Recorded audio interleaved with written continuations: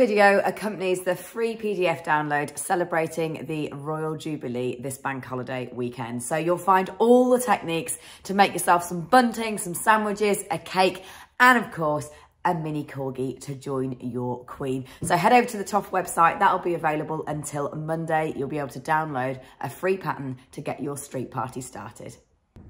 So I'm going to show you all the techniques that you'll need to be able to download your free PDF pattern this weekend and make all these goodies. So firstly, you're going to get the mini corgi. And I'm not going to do specific techniques for these. Anyone that's an Ed's Animals fan will be quite familiar with making a mini. The only thing that's a little bit different that I'll show you up close is that you just embroider a little patch of um, cream onto the chest there and you embroider the inners of the ears. Do both those things after you've sewn up when you're putting your mini corgi together. Then you've got included some bunting, a Victoria sponge, some sandwiches, a flag and a champagne bottle, of course, to get your celebrations started. So I'm just going to start with the bunting um, so that you've got an extra technique to help you along your way. So the way I've done this bunting is a red, white and blue bunting and I've done two cream triangles for each of the red or blue. So it'll go cream, ruby, cream, blue, cream, ruby, cream, blue. So when you've made your little um, triangle for your individual piece of bunting, sew all your ends in. And then what you need to do is tie a slip knot and do a chain. So one, two, three, four. And then you're actually going to double crochet across the top of each piece of bunting. So your point is down. You're going to do around six stitches across the top of each one.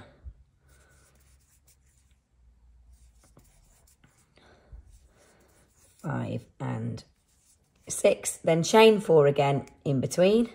One, two, three, four and then pick up your next one and just add them on to your piece of bunting like that. Now, this is a really fun one, whether you're going to be using it for um, doing photos, which is what I really would love you to share this weekend. I'd love to see lots of photos of your queens, of your Ed's animals, of your other dolls, of your monsters, enjoying a little Jubilee party as well. So then do one, two, three, four, and then you'll just join in your next one in exactly the same way. So that's how you put your bunting together. Then when it comes to making your sandwiches, uh, that's what I'd just like to show you is the structure of putting the little sandwiches together. So what you're going to be doing is making lots of little slices of bread and then there's various little bits for doing fillings that you can add. So there's a circle, which you can use multiple colours on if you want to. There's a square, so this one would represent cheese. Um, and then there's a little frill or a, a strip, which could be a little bit of salad. Um, so those ones are all quite straightforward. Mix and match your fillings so you can fill your sandwiches up. But let me just show you how to make a piece of bread.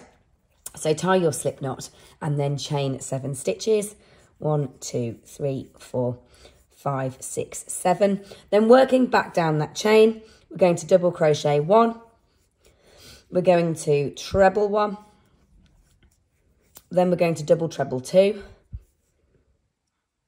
And you can download this pattern free this weekend. So head over to the TOFT website and you can actually download the pattern for all of these things that you see here. The bunting, the corgi, the sandwiches and the champagne bottle. So you double treble two, then treble one again, and then double crochet one.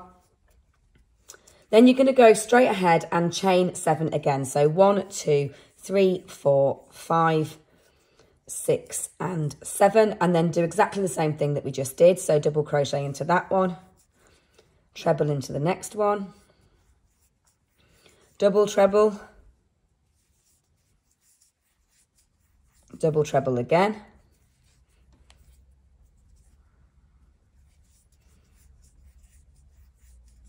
treble again and double crochet. Now what you've made is two strange little triangles um, that are attached together off the bottom and what you're going to do is turn them into a triangle shape that's a bit like a, a 3D pillowcase. So take your two bottom lines, you see how you've got them like that, take your two bottom lines like that and put them together. So that's leaving me the tops of my double trebles in the middle and a straight line where my chains were along the bottom. And for those that are advanced crocheters, you will have a right side facing and a wrong side facing, but don't worry about that. Your right side could form the outside of your sandwich. Your um, wrong side facing can form the inside where you put your fillings. Um, but with those double trebles, you can barely see the difference between the right side and the wrong side anyway. So put your two chains along the bottom. So you've got your straight line there and then just double crochet up to join them together. So you're going to put your hook in through that stitch there and in through the one that's on the sandwich piece behind you like that and do DC 1 and then DC 2 through that next one and then you're going to do an increase into these two top ones. So we're going to do one and two into that one, and then onto the next one, one and two into that one, and then double crochet those two together. So that's you having gone along the top to join it together like that. Then in this last one, we're going to colour change into our camel to do our crust. So just go through again, yarn over to the point where you've got your two stitches and then grab a little bit of camel for your crust, which I'm just going to steal off the top of my cake here to show you how to um, do it. So colour change across like that. And then just double crochet across that base. So you're going to double crochet that final third side together, which is across that original chain that you did. So do that and that gives you a little triangle slice of bread with that crust on to be able to create your sandwiches. So create two for every sandwich like that. So you're to make two for every sandwich. Then you can make your various fillings and you can sew them together. So that one's a bit of an open sandwich there. Or you can sew them together, maybe construct your sandwiches slightly more neatly than I have done there. Sew them together and you can do a little lineup of sandwiches for your dolls. So let's move on to the cake. So we've had our sandwiches. Um, time to move on to our cake. And the way that you're making um, the Victoria sponge is you're making a base, a top, and then a central piece. And then we're just going to work some detail on to make our um, jam and cream a little bit more 3D. So you've made a central panel like that. You've made a top which is curved and then you've made a bottom which is flat. So when it comes to putting your cake together, you've got a central round through the middle and then you've got a base and you've got a top. So put your base onto your central piece like that. Put your hook through the base and then put your hook through the centerpiece.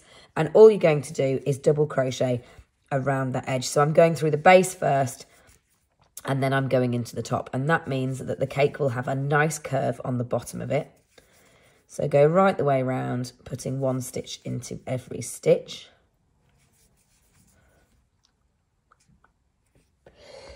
So once you're heading towards the final few stitches, leave yourself a little hole on that top and put some stuffing in because it's the time to make your cake become 3D.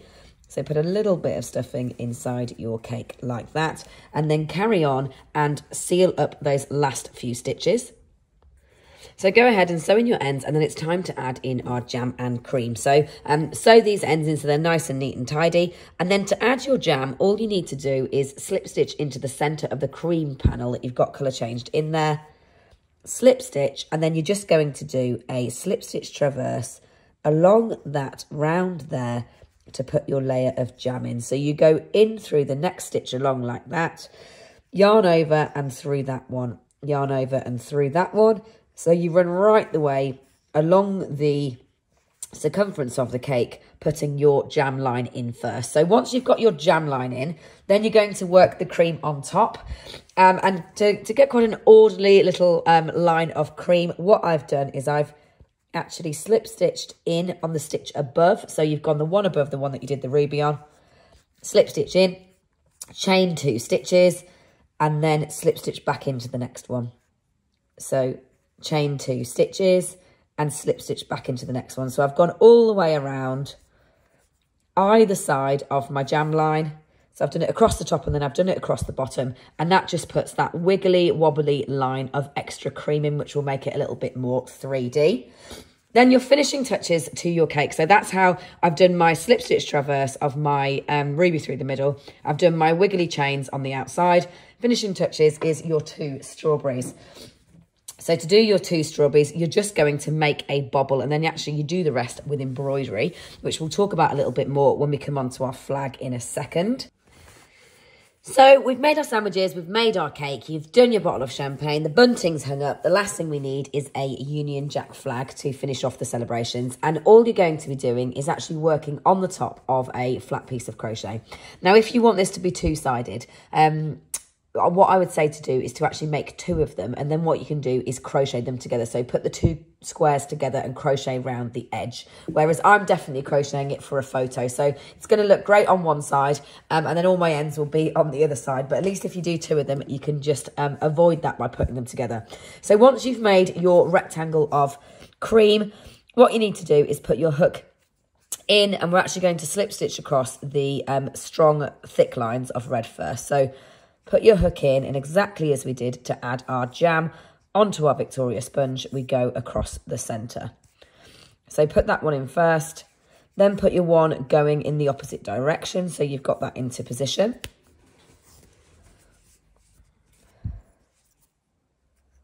And then you need to just embroider your four diagonals into position. So while I'm just doing this, um, just to say, I hope you've enjoyed watching this video. I hope you've enjoyed downloading your free patterns that you can find over on the TOFT website this bank holiday weekend. Please tag me into your photos. So use these accessories to make yourself some lovely Jubilee party pictures, whether it's with your Ed's animals, your Ed's dolls, uh, with your monsters or with your queen itself if you um, got one of those kits back in March. And make sure you do share those pictures using the hashtag TOFTUK so I can share them on our social media channels this weekend. So once you've got your four thick lines in, all we're going to do is embroider the diagonals in a thinner red. So just to put those in, all you're going to do is go across and do one strip of red like that. Obviously do so all of your ends in.